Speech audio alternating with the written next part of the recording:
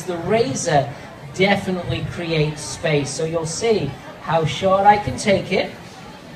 And you can see that I'm approaching it exactly the same way as I did on the opposite side, cutting from top to bottom. Our number one class that sells out all the time is our Razor Fundamentals class. Because a lot of people want to learn how to create space. You see the space that we've created right there? And the razor is such a fluid tool and it ignites your creativity.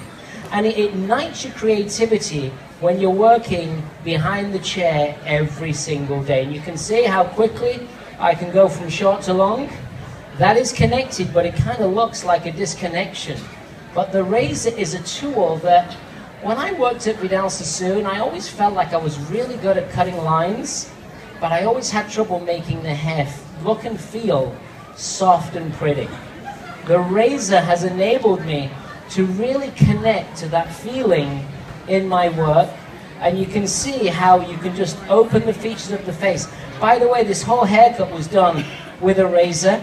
We collapsed the back with the razor yesterday and left the sides nice and long. Let me hand you over to Lena while I'm finishing up and see where she's up to with her haircut. Yeah, so I um, I cut my one side through here, probably the the